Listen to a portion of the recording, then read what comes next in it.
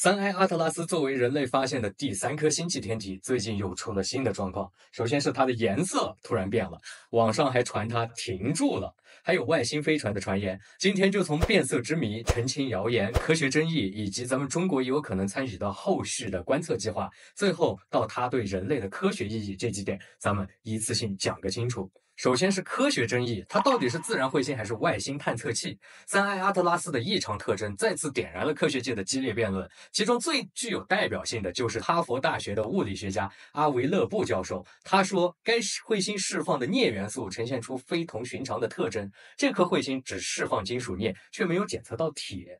这在自然彗星里几乎是没有的，但工业提炼镍的时候，这个反而会经常出现。他还说，这种镍可能是通过镍汤基通道形成的，所以他觉得这就是外星探测器，推测它是外星母舰，甚至是在释放小型的探测器。乐布还拿轨道这个事情来说事儿，咱们在上一期视频里边也有说到过。他说这颗彗星的轨道和黄道面只差了五度，这个夹角概率只有百分之零点二。同时，它还会近距离的掠过金星、火星、木星，那这个概率就更低了，只有百分之零点零零五。他觉得这个就是智能设计的结果。那我看网上其实也有在说，它这个概率的计算其实是有问题的。对。欧洲的南方天文台的天文学家们就进一步指出，勒布计算轨道概率的时候出现了明显的偏差。咱们通俗一点说，就是他只算了对自己有利的数据，就比如说他掷一个骰子，只算了自己掷出了顺子的次数，却不算掷出普通点数的次数。那他只盯着彗星接近了几颗行星，却忽略了没有接近的其他的天体，也没有考虑星际天体本来就更可能沿着太阳系的平面飞行这个前提。那么选择性的去计算这个概率，肯定结果就是不。准的，欧洲南方天文台的天体力学团队也就指出了，这个概率计算并没有考虑星际天体的各项意向性分布，实际概率应该分别修正为百分之三点七和百分之零点一二。那么在这儿也就和大家说说结论，他的这些观点引发的广泛讨论，实际上是缺乏实质性证据支持的。主流科学界也是持了强烈的质疑态度。NASA 的太阳系小天体首席科学家汤姆斯塔特勒就明确的表示，它看起来像颗彗星，那它实际上也确实就是颗彗星。彗星的观测数据显示，哈勃望远镜测得的彗星直径不超过五点六公里，没有那么大，对，远小于它最初估计的二十公里。这使得所谓的巨星外星飞船的猜想就失去了。重要的依据。那更关键的是，韦布和斯菲克斯的联合观测已经确认彗发中存在水、一氧化碳以及羰基硫化物等典型的彗星成分，完全符合自然彗星的特征。目前，这颗彗星正在以每秒钟六十一公里的速度穿越太阳系，直径大概就是五到六公里左右。它将会掠过火星，最近的时候离火星只有两千九百万公里。现在呢，已经进入了多国探测器的重点观测窗口期了。那关于彗星的变色，九月七号的那天，纳米比亚的夜空刚好赶上了月全食，也就是咱们直播的那场。那个时候天特别的黑，奥地利天文学家迈克尔耶格尔团队呢，就用特殊的滤镜拍了一张照片。三 I 阿特拉斯原本是泛着红色的光辉，突然就变成了醒目的蓝绿色，这个变化实在是太突然了，一下子就让科学家们都来了精神。这一戏剧性的颜色变化呢，也为人类对于第三颗已知的星际天体的研究增加了新的谜题。也让它更多的受到了大众的关注。最新的数据显示，这颗星际访客呢正在经历显著的物理变化。九月初，哈勃太空望远镜已经清晰的记录到了它的彗尾的亮度显著的增加了。再到九月七日，蓝绿色的彗发和彗尾完全成型了。就是彗星为什么还会变色？其实上这跟我们生活里边的现象很像。比如说天然气的燃烧就是蓝色的，木炭烧起来就是偏红的，火焰的颜色就是由燃料决定的。彗星的颜色就是由它释放的气体和尘埃在太阳辐射下的反应决定。那真正帮我们揭开变色秘密的，还是詹姆斯韦布望远镜。关于它，我这儿有本书，拿给你去看一看，《天体闪耀时韦布望远镜太空探索全记录》，这里边写的很详细。比如说，尾部为什么会比哈勃看得更深？发射时有什么技术难题？红外波段怎么帮助科学家分析天体成分？包括太阳系以及系外天体的清晰照片，有很多通过近红外相机拍摄的，无法在可见光波段看见的天体细节照片。那你看懂了这些知识，再看这次三 I 阿特拉斯的观测数据，一下子就懂了。原来咱们现在能够在千里之外知道它的构成，全靠尾部的近红外光光谱仪抓到了不同分子的特征信号。如果各位。小伙伴对于这本书也感兴趣，可以移步评论区。那么，关于尾部望远镜在这颗彗星里发现了什么呢？通过观测，三 I 彗星的彗发里二氧化碳和水的比例高达。八点零的正负一点零，比同样距离太阳系的彗星高出了一大截。这种富含二氧化碳的成分被太阳紫外线一照射，它就会发出蓝绿色的光，这就是它变色的核心原因了。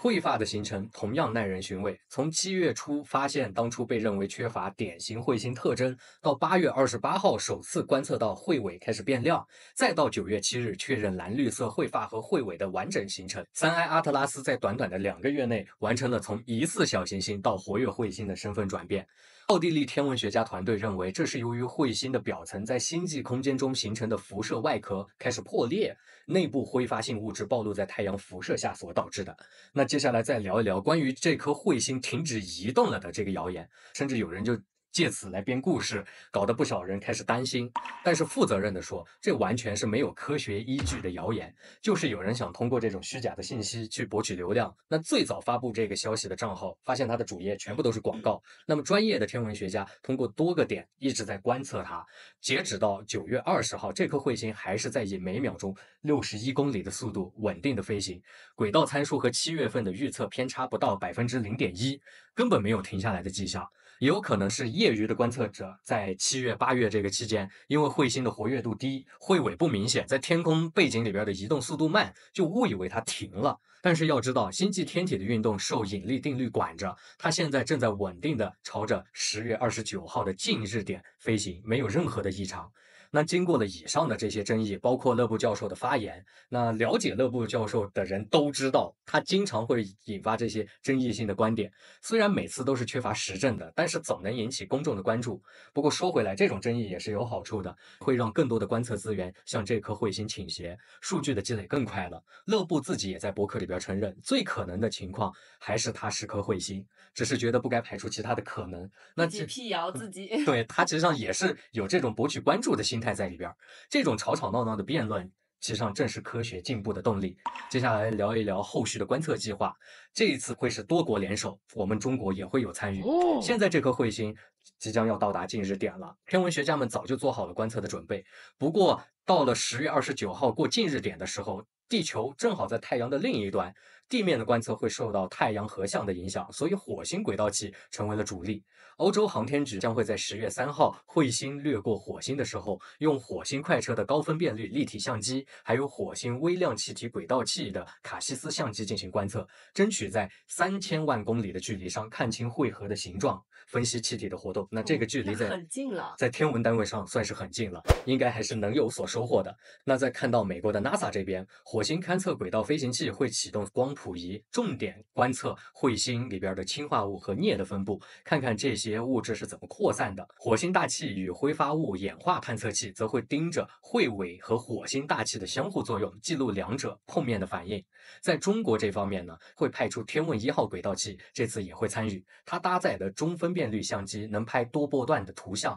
捕捉彗尾的动态变化，还有次表层探测雷达，能够尝试分析彗尾里尘埃的大小和分布。观测数据呢会和国际团队共享，这也算是咱们为星际天体的研究出了一份力了。更远处的木星并卫星探测器也将尝试用四台仪器对它进行观测，但是受限于木星的强辐射环境，所以仅能在十一月的窗口期进行短时间的观测。在地球这边，尾部望远镜计划在十二月彗星重新出现在地球视野之后呢，进行新一轮的观测。而哈勃望远镜也会在十一月进行紫外光谱分析。这些观测将重点验证两个关键性的问题：绘发中的异常化学成分是否持续的存在，以及非引力加速是否符合彗星的活动模型。更大胆的是，美国西南研究院还提出了一个星际彗星探测器的计划，由新视野号冥王星任务的负责人艾伦斯特恩牵头，想利用现有的技术，让探测器近距离的飞掠这颗彗星，收集更多的详细成分和结构数据。不过需要补充说明的是，这项计划预计还要有五年才能筹备，那个时候这双彗星早就飞远了。对，这五年。太长了，但是虽然说现在不能说它具体能不能实施，但也看得出科学界对它的重视程度。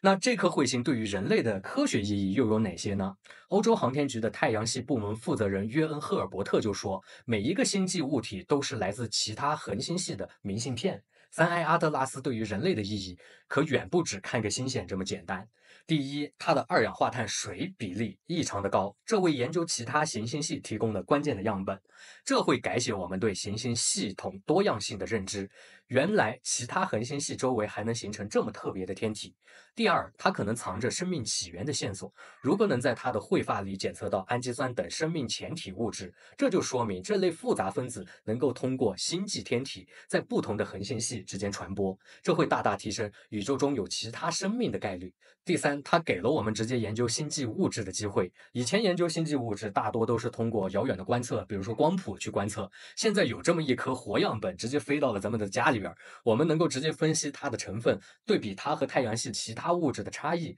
能够帮助我们搞清楚恒星之间的物质是怎么传输的，星系系统形成的普遍规律是什么。那么，随着十二月十九号这颗彗星达到了近地点。我们会对它的了解越来越深。这颗来自遥远恒星系的信使正用它的旅程告诉我们，宇宙的奥秘永远比我们想象的更加丰富。我们后续还将继续关注这颗彗星的更多消息，欢迎关注我们。所以永远不要停止思考。我们下期再见，